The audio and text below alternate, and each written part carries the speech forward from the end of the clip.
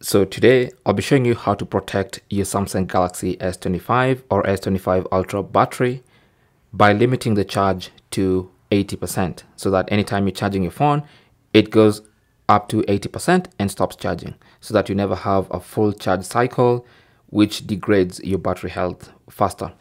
So to do that, go into settings. Under settings, go to battery, tap on that, and then go to battery protection. You can tap on that, and this is where you enable this function.